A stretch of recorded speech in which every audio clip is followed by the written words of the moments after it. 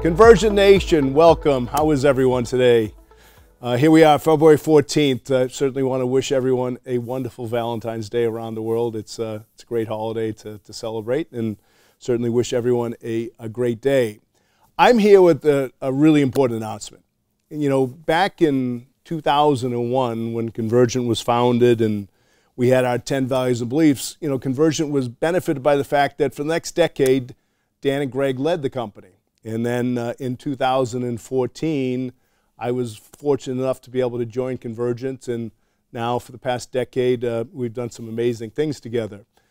Uh, but a year and a half ago, I went to our board and, and let them know that I thought that now, or you know, coming up at that point, uh, was the time, the right time to make a change, and that we needed a CEO that would, for the next decade, take Convergint and reach new heights. And I'm here today uh, with thrilled to announce that we uh, Convergint has a new CEO, and with me today is Ann Fandozzi. Ann, welcome, welcome Thank to Convergint. Thank you so much, Ken. I so excited to here. have you here.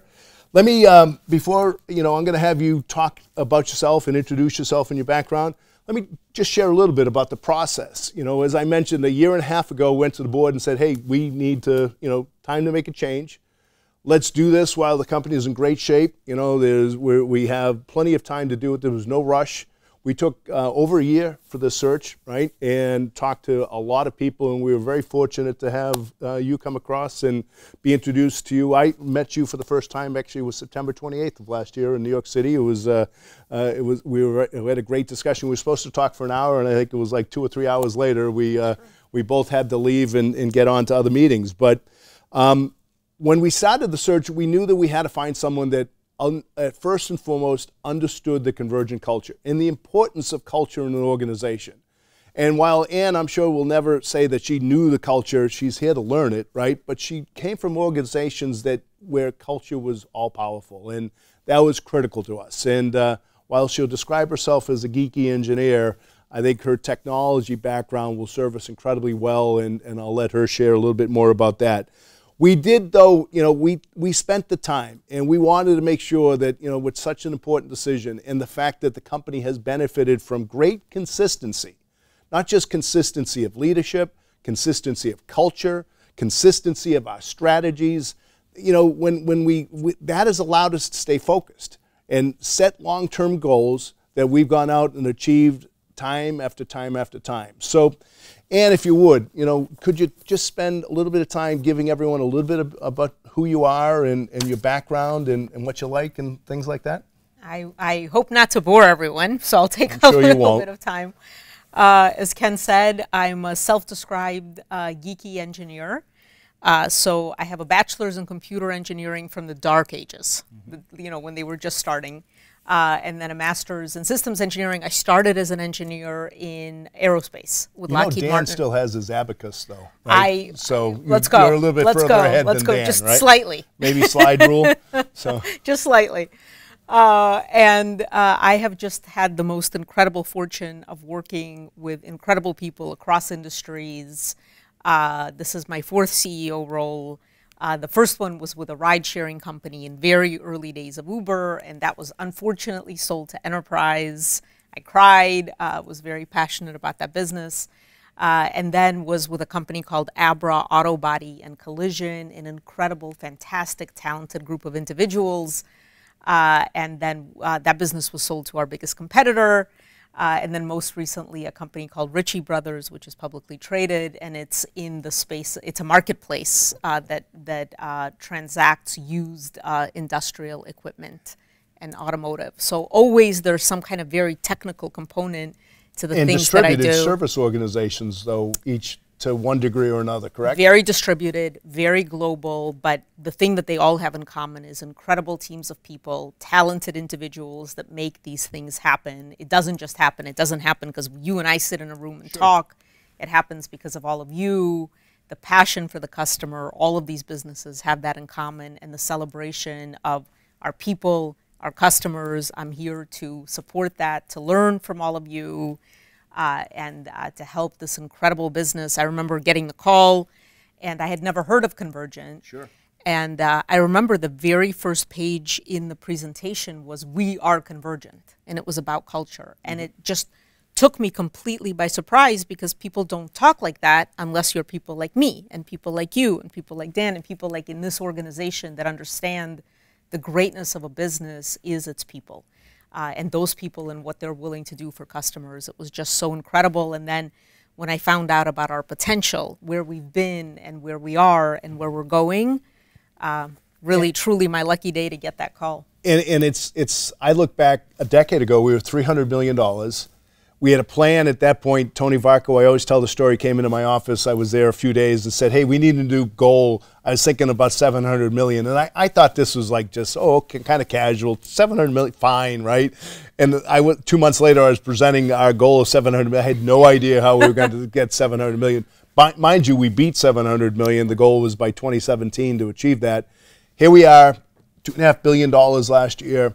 Uh, I was talking to Mike Duncan, who, who led our global accounts. He's retiring in March, and we were talking about how it's legitimately achievable that our company will scale to eight, ten billion dollars in the years to come. And having someone at the helm now that will really be able to blend the technology with the scale that we have and bring it all together from a process standpoint to make it easier for you, our colleagues, to service our customers, to be our customer's best service provider, to make it easier for you to transact and just do the jobs and the work that you need to do.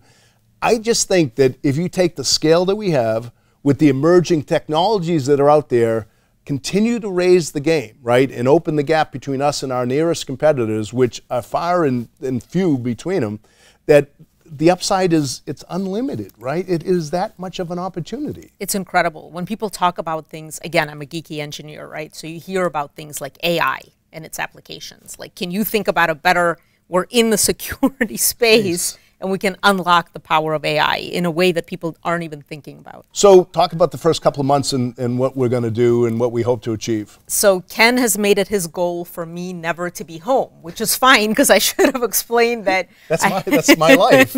that's your life, that's my life. Uh, I'm always on the road.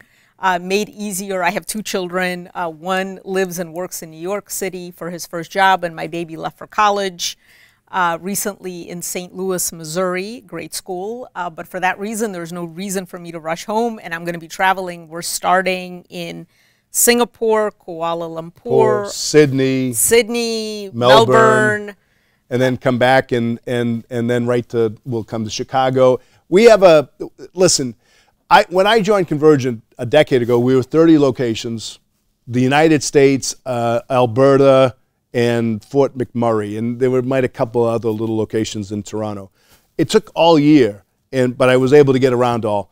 I don't know that it's possible to literally get to every conversion location now north of 200 around the world. We're in you know six of the continents now, and uh, you know it, it's going to be hard. But what we're going to do over the few, next few months is spend as much time meeting colleagues, meeting with customers, We've got the Unite meeting in March in Orlando. We'll meet uh, over a thousand colleagues there, followed up by, in Las Vegas by the, uh, the ISC meeting in, in the middle of April. Great chance to meet a bunch of colleagues and importantly, a lot of customers there. And then having Ann travel around, whether it be to Asia, to Latin America, to Europe, to the different regions, the United States and Canada, to meet with you, to hear what's on your mind, to hear what concerns you, what you love about the company, what you love about the culture, and just listen, right, and learn. And I think it'll be a, an, an, awesome opportunity over the next few months to, to work together as, as you get to, to, come up to speed. And just, you know, from a, from a pure, you know, people ask me, so is it a transition? Listen, we've made this really simple.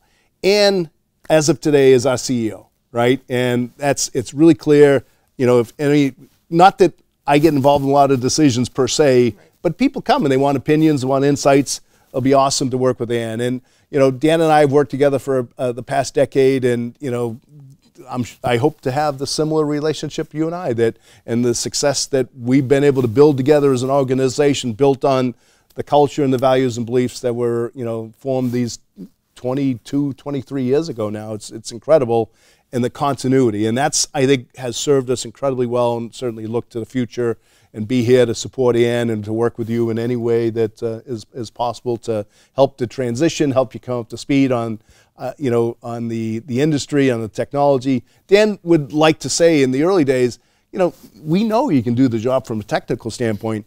It's really the culture and learning the culture and learning all of our leaders. And, and certainly, I wish I knew all 10,000 of our colleagues. I don't. Uh, but you know, I want uh, I want Ann to meet as many of them as you as possible, so that you get a great feel for the organization and what we're what's so unique and so amazing about our organization. So, I, am so fortunate to be here. I think it's very telling that we're actually starting the tour in Singapore and then Kuala Lumpur and then Australia. I think it's telling for the global organization that we are that we don't even catapult into Chicago no. uh, for the first month. Right. Uh, and then we're coming in. But I think it's fair to say, like, the culture is based on a legacy and a longevity. Dan is a huge, obviously, and Greg, huge mm-hmm. fiber of the being of this business. So are you. And I'm fortunate to kind of take the baton and Carry have you guys forward, right? Uh, with me all the way. So I'm uh, grateful to be here and really excited uh, to meet all of you and I'll look in as much as I can join and be with you. And you know, let me just close by saying, you know, thank you, thank you to every colleague that has made this past decade as incredible as it's been. Listen, they, so many colleagues still that have made Convergint since day one, in the earliest of days of Convergint, the the unique and special and amazing organization that we are. And you know, the the years to come, it'll be awesome to to help support and to watch and to see what next amazing things we're going to achieve and certainly wish everyone the very best and my deepest thanks for all of your help and support. So, Ann, welcome. Thank welcome you. Aboard. What a pleasure all to be best, here. Thank you. Great stuff. See you all soon. Be well.